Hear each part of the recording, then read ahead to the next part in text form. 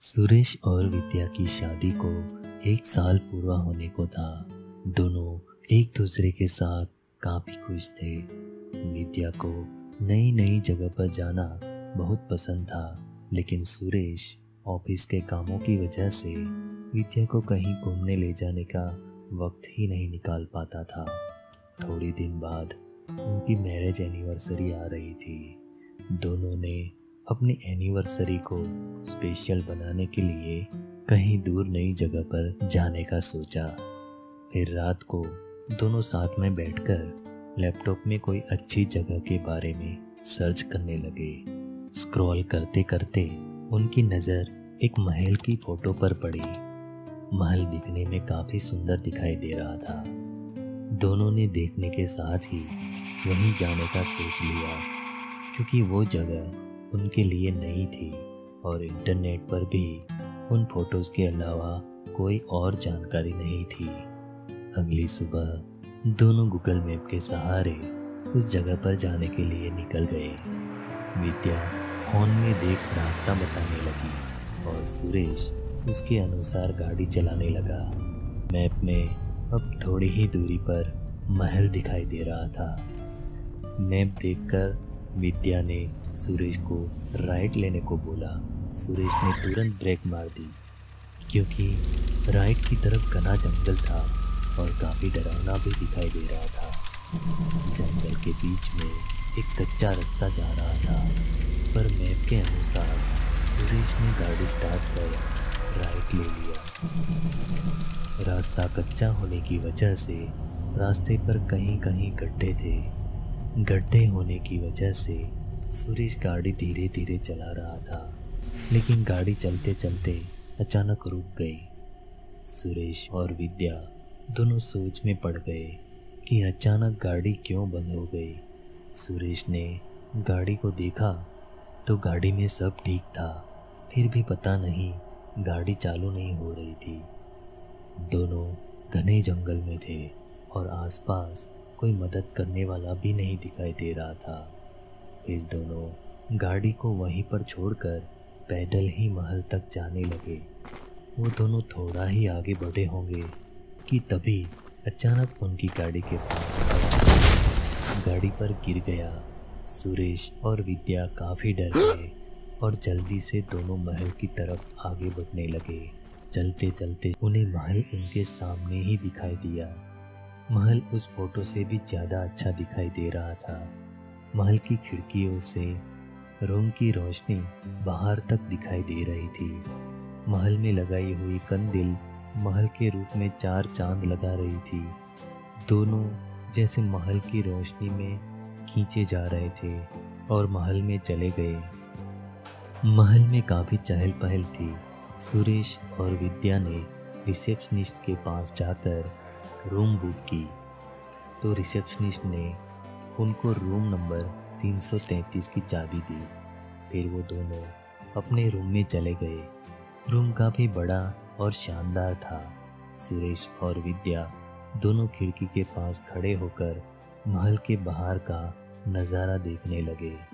तभी उनकी नज़र एक बूढ़ी औरत पर पड़ी, जो दिखने में काफ़ी डरावनी लग रही थी। वो औरत उनकी तरफ़ ही देख रही थी और हंस रही थी। ये देख विद्या थोड़ी डर गई, परंतु सुरेश ने कोई पागल औरत होगी, ये बताकर उसके मन से डर को निकाल दिया। लंबा सफ़र तय करने की वजह से दोनों काफ़ी थक गए थे और थोड़ी देर आराम करने का सोच बेड पर लेट गए। थकान की वजह से उनकी आँख कब लग गई उन्हें पता भी नहीं चला। दोनों सोए थे, तभी उन्हें किसी के की और संगीत की आवाज़ सुनाई दी। इतनी रात को कौन नाच रहा है? ये देखने के लिए दोनों अपने रूम से बाहर आए। पूरे महल में घुंघरू और संगीत के अलावा और कोई आवाज़ नहीं आ रही थी। दोनों आवाज़ को सुनते हुए आवाज़ की तरफ़ आगे बढ़ने लगे। वो जैसे जैसे आगे बढ़ रहे थे वैसे वैसे आवाज़ और भी तेज़ हो रही थी। आवाज़ को ढूंढते ढूंढते दोनों एक रूम के बाहर खड़े हो गए, जहाँ से सबसे ज़्यादा आवाज़ आ रही थी।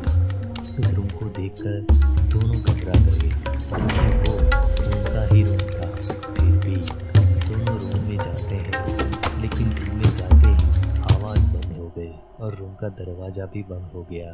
पूरे रूम में एक अजीब सी चुप्पी फैल चुकी थी। तभी अचानक खिड़की अपने आप खुल बंद होने लगी।